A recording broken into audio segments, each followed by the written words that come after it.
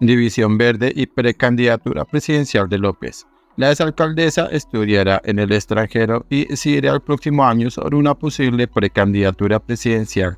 División Verde, primera parte. Luego de que Claudia López dejara la alcaldía de Bogotá, se abrió un debate en torno a cuál será su futuro político.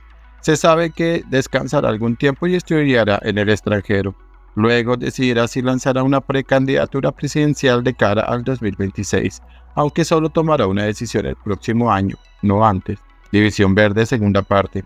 Sin embargo, por el momento el mayor obstáculo que tendría una eventual precandidatura de López es la división que se ahonda en la Alianza Verde, en donde ya se notan tres tendencias, la antipetrista, la petrista y una nueva en la que se están ubicando poco a poco parlamentarios y dirigentes que consideran que esa polarización partidista ya le salió muy cara a la colectividad en los comicios regionales de octubre pasado.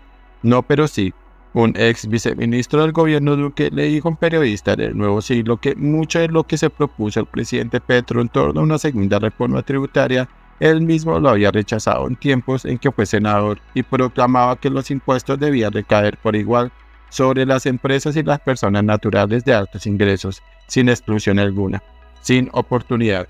Se le preguntó a un parlamentario de un partido independiente si creía que este Congreso le pasaría al gobierno un nuevo proyecto de reforma tributaria.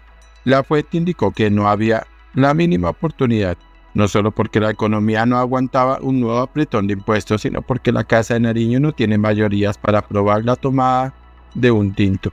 Golpes duros. Una de las metas de los mandos militares y policiales para este 2024 es asestar golpes duros y contundentes a los grupos de delincuencia común y organizada que no están en cese al fuego con el gobierno Petro.